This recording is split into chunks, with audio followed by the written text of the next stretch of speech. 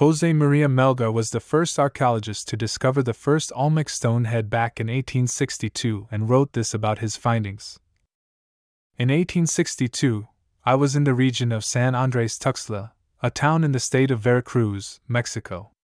During my excursions, I learned that a colossal head had been unearthed a few years before, in the following manner.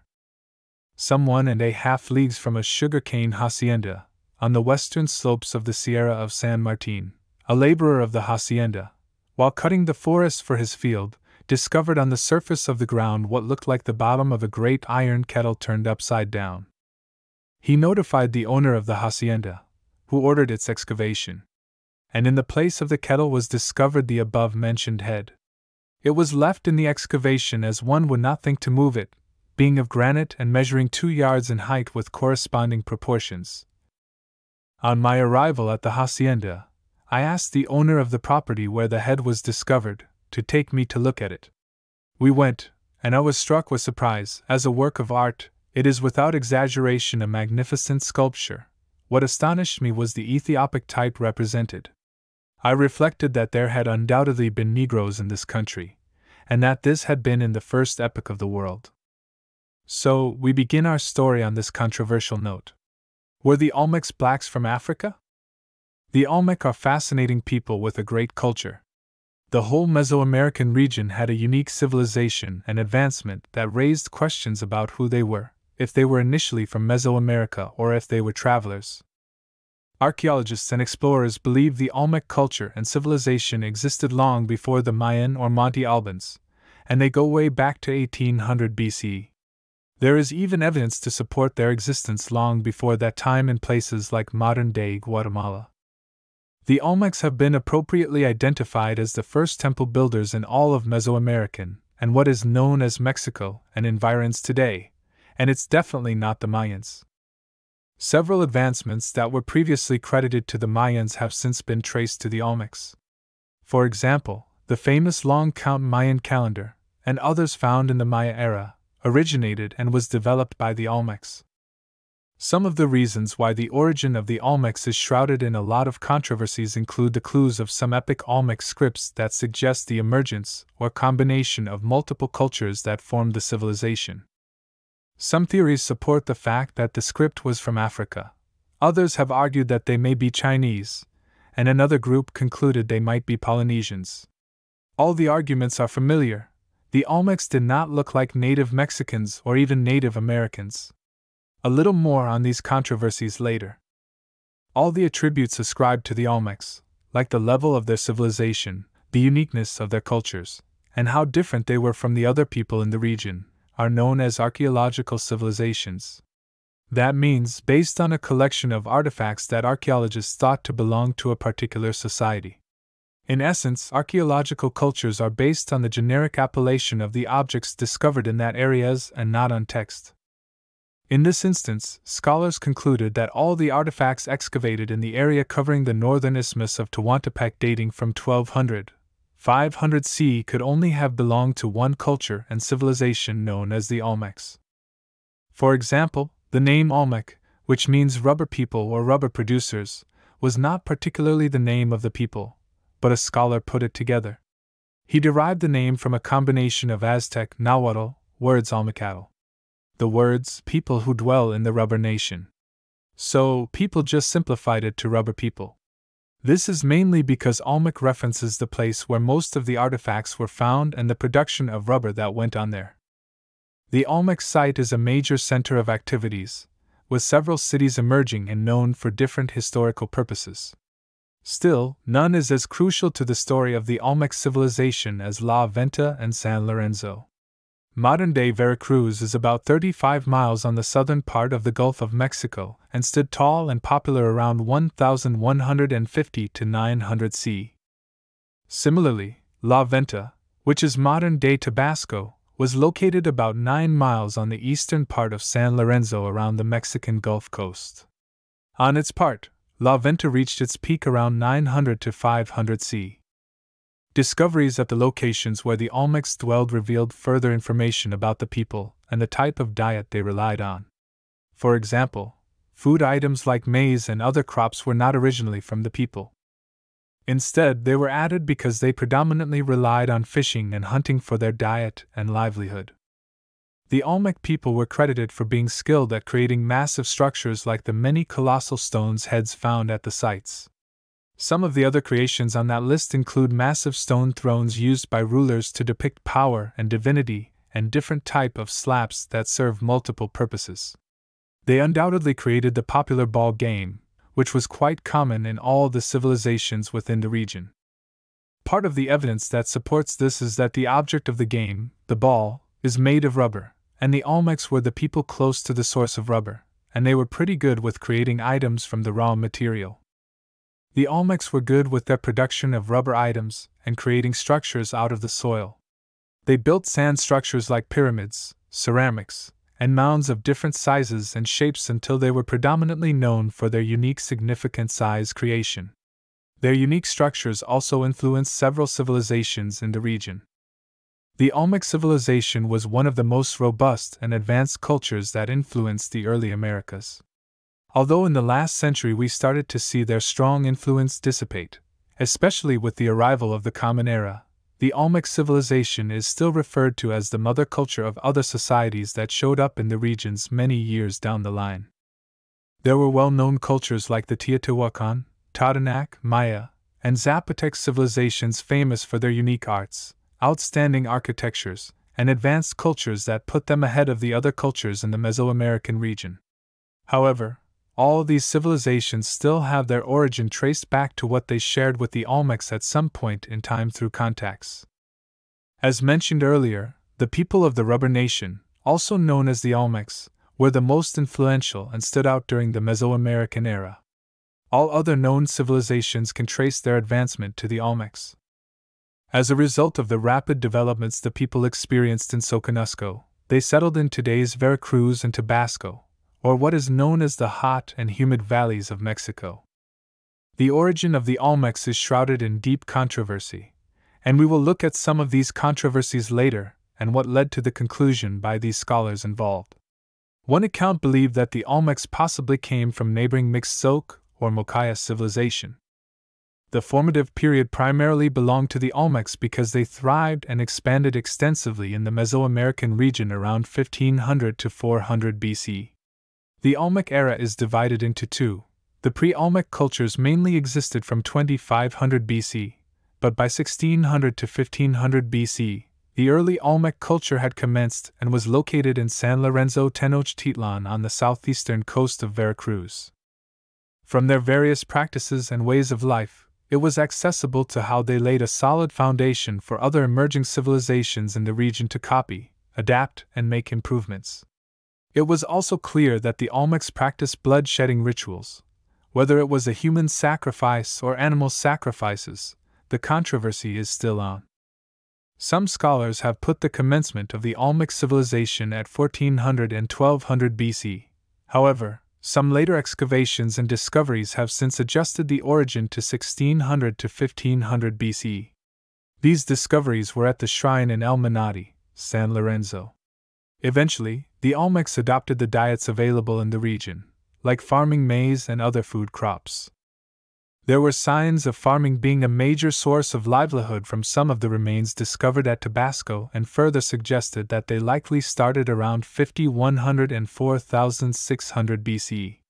These diets and food items were also adopted by later Olmec civilizations just as they did the technologies. The development of the Olmec people and their culture was made easy by the ecosystem, consisting of well watered alluvial soil. In addition to that, the Coatzacoalcos River basin provided the people with a great transport network. There has been a strong comparison of the Olmec environment and climate with other advanced civilizations like the Nile, Indus, and Mesopotamia. The productive nature of the environment ushered in a good and bad experience for the people because the dense population started giving rise to classes. Eventually, the elite class emerged and pushed for the production of unique items to differentiate the Olmec culture. This would lead to producing some of the known luxury artifacts, symbols, and sophisticated items. Several of these luxury items made from magnetite, jade, and obsidian were out of the reach of the lower class of the population. They were items for the rich, and the fact that they came from outside the Olmec society does buttress the point that the people had extensive trading activities within the region. There are three likely sources named as the origin for the high valued obsidian found among the Olmec elites. For example, the most luxurious jade found among the Olmec elites has been traced and found to have originated from the eastern part of Guatemala, known as the Motagua River Valley. It could have come from El Chayal, which is closer to the Olmec society in the highlands of Guatemala. Other likely sources are Puebla and San Martin Jilotepeque. These locations were only some kilometers away from the Olmecs. A few sites shed more light on the Olmec culture due to some Olmec artifacts found there. One such site is the Mescala culture, which is in modern day Guerrero. There was more Olmecs type of artifacts found there than those found in the Veracruz, Tabasco sites. A city known as Teopantecuanitlan in Guerrero is one of such cities relevant to the Olmec culture. One other relevant object from the Amuco a Blimos site, an apparent Olmec creation that dates back to 1530 BC, was found in Guerrero. The colossal heads have turned out to be synonymous with the Olmec civilization. They molded human heads from massive stones or large pieces of movable rocks. They are of different heights from 3.8 to 11.2 feet. Some of these heads have been found to date back to 900 BC. The question has been asked what these heads genuinely represent, or if they were worshipped as gods, or if they were a representation of some royalties. It would seem more like the latter due to the different features on the faces. Most of the heads were that of matured adults with the following features fleshy cheeks, slightly crossed eyes, flat noses, headdresses, frowning or smiling faces. The back of the stones is often flat with no unique designs since they are not meant to be seen as much as the front. To further bolster this point, these features are still found among the locals of modern day Veracruz and Tabasco. From the remains found at the sites, it appears the carvings took place at the Sierra de los Tuxtlas Mountains in Veracruz and then moved to other locations within the civilization. The massive size of the stone heads and the carving location revealed that the final products might have been transported either through a chain of humans or some means of transportation. The distance covered in moving these stones is sometimes up to 250 kilometers. All these efforts put into the sculpting and movements of the stones further suggest their relevance to the people. The heads either represent some powerful leaders or some influential elites in the societies. The efforts that go into each head almost made them uniquely different and evidence that they were carved after particular individuals, and not just a general production.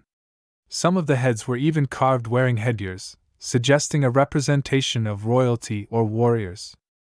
In the whole region, the Olmec colossal heads stand out and are unique to that civilization.